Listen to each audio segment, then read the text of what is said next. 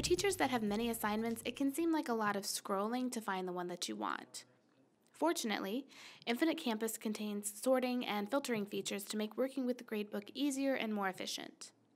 First of all, you can change the number of assignments the gradebook displays at one time, just by going to the Settings menu. Just select the desired number of assignments per page, and the gradebook will immediately update. These page number toggles will appear at the top of the gradebook, and you can use the arrows to quickly cycle through the pages or jump to the end or beginning of the assignments.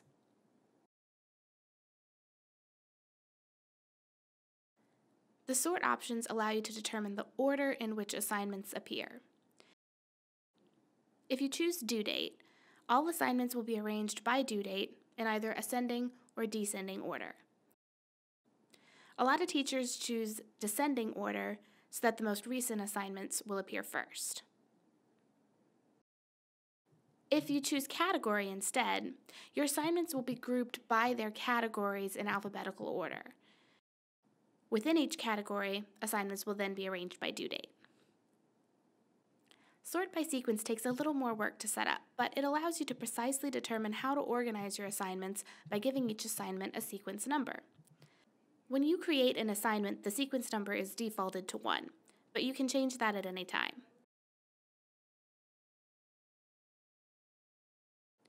Multiple assignments can have the same sequence number, and the numbers don't have to be consecutive. So, you could have a group of assignments with sequence number 5 and another marked sequence 10, and all assignments with the same number will appear together in the gradebook when sort by sequence is selected. In addition to the sorting options, you also have filtering options, which will display only specific assignments or students in the gradebook. There's two types of filters, student-specific filters and assignment filters. Suppose you want to see all students who have missing assignments. Under the Student Specific filter, select the Missing Score flag, then click Apply. This will display all assignments in your gradebook, but only those students who have missing ones. Notice that the Filter button now has a blue circle on it.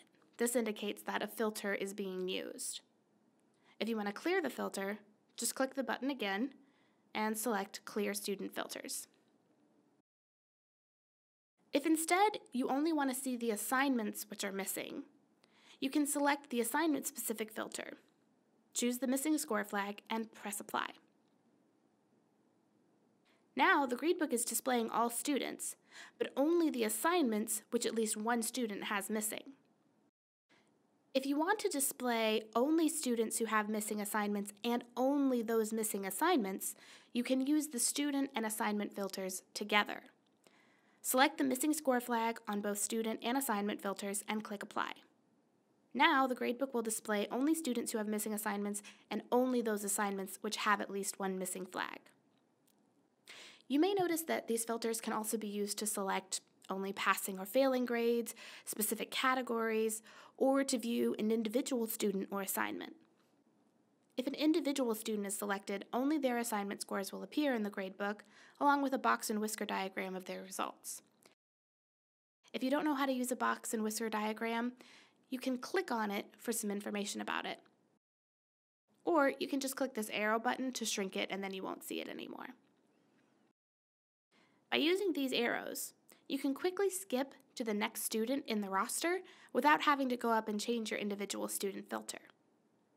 You can also remove an individual student filter just by clicking the Show All button. You can also activate the individual student filter without having to go to the filter button at all.